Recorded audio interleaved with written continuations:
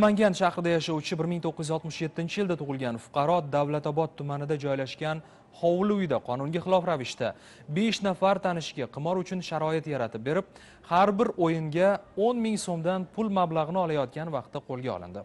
Voqea joyidan 30 dona karta, o'yinga tikilgan jami 2 million 230 ming so'm pul ashyoviy dalil sifatida olingan.